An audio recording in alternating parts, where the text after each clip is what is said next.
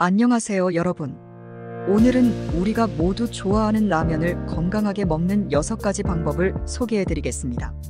라면은 간편하고 맛있지만 건강을 생각하면 걱정되는 부분이 많죠. 그래서 오늘은 조금 더 건강하게 라면을 즐기는 방법을 알려드릴게요.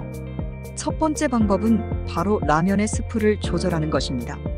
라면 스프에는 나트륨이 많이 들어있기 때문에 스프를 반만 사용하거나 저염 스프를 사용하는 것이 좋습니다. 두 번째는 신선한 채소를 추가하는 것입니다. 시금치, 청경채, 양파, 당근 등 다양한 채소를 넣으면 비타민과 미네랄을 보충할 수 있어요. 또한 채소의 섬유질이 라면의 소화를 돕고 포만감을 더해줍니다. 세 번째는 단백질을 추가하는 것입니다. 계란, 두부, 닭가슴살, 새우 등을 넣으면 단백질을 보충할 수 있어요. 특히 계란은 간편하게 넣을 수 있고 두부는 부드러운 식감을 더해줍니다. 네 번째는 면을 데친 후 사용하기입니다.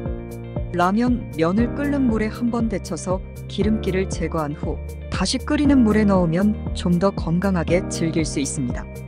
다섯 번째는 국물을 적게 먹는 것입니다. 라면 국물에는 나트륨과 지방이 많이 들어있기 때문에 국물을 적게 먹고 면과 건더기 위주로 먹는 것이 건강에 좋습니다. 마지막 여섯 번째는 곤약면이나 통밀면을 사용하는 것입니다. 일반 라면 면 대신 곤약면이나 통밀면을 사용하면 칼로리와 탄수화물을 줄일 수 있습니다. 특히 곤약면은 식이섬유가 풍부해서 다이어트에도 좋습니다. 오늘은 이렇게 라면을 건강하게 먹는 6가지 방법을 소개해 드렸습니다. 조금만 신경 쓰면 좋아하는 라면을 더 건강하게 즐길 수 있으니 꼭 한번 시도해 보세요. 영상이 도움이 되셨다면 좋아요와 구독 부탁드립니다.